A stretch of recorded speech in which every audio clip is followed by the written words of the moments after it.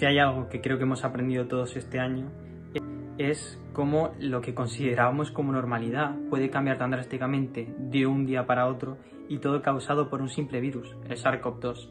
No obstante, si hubiese que elegir algo con lo que quedarse, algo positivo de toda esta crisis, pandemia, yo me quedaría con dos cosas.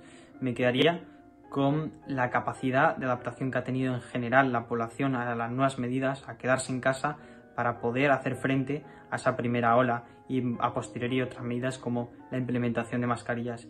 Y por otra parte, la resiliencia que ha demostrado mucha gente, de entre ellos destacar al personal sanitario que ha estado luchando en primera línea para poder hacer frente al incremento exponencial que hemos tenido de casos durante los últimos meses.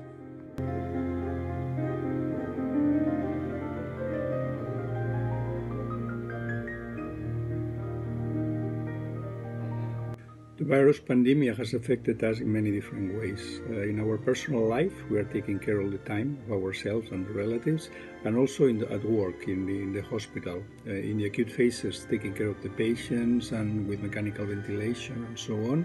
And in the interim periods, with um, taking care of all the other patients also, and taking taking care between us and uh, people is very very tired because of the different waves that we have had of the pandemic.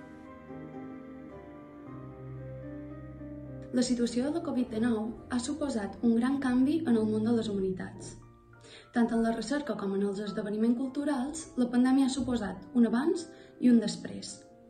Aquestes persones s'han hagut de reinventar, prendre les noves tecnologies com a eines quotidianes per tirar endavant els seus projectes i canviar del format presencial al format xarxes socials.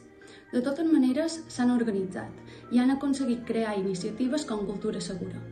Per això, i perquè la cultura és essencial per la societat, les que ens dedicam a aquest àmbit no ho.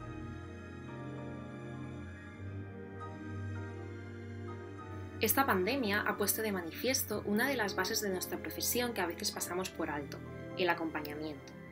Muchos profesionales se han visto en la situación de no poder ofrecer muchas más herramientas terapéuticas a los pacientes, siendo la compañía un tratamiento indispensable.